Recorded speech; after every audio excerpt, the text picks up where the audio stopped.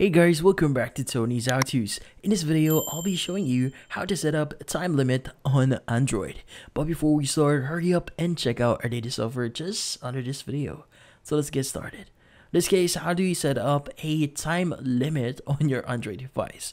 Well, the first thing we need to do here is we need to open up our Android device here and we need to access our settings. In this case, let's go and click on settings here. And from here, you need to scroll down a bit and look for the section that says digital well-being and parental controls. So let's go ahead and click on it. Now from here, scroll down a bit, look for dashboard or the section that says ways to disconnect.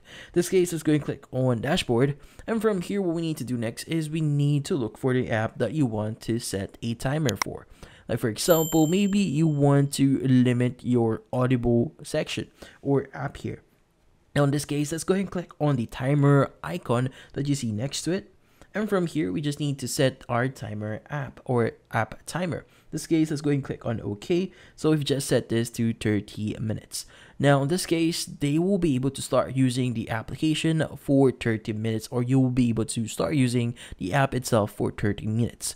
Now in this case, once the 30 minutes is up, the app itself is going to be locked. But the great thing about this one is whenever it actually reaches or whenever you reach at the 12 midnight mark, it's going to automatically reset the timer. And again, you'll have the allotted time again into your mobile device or Android. And that's about it.